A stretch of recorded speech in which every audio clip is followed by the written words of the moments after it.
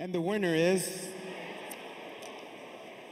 Slits legend Viv Albertine. Clothes, clothes, clothes. Music, music, music. Boys, boys, boys.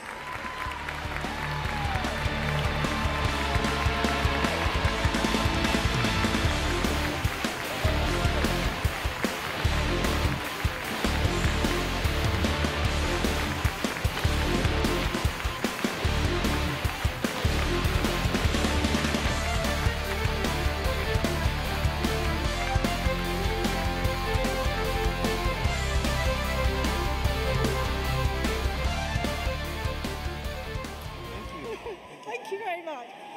Uh, thank you so much. Um, I suppose it was worth all those terrible things I did to uh, win this award. Thank you to my daughter Arla, who stood by me through those years of me writing it. Cheers.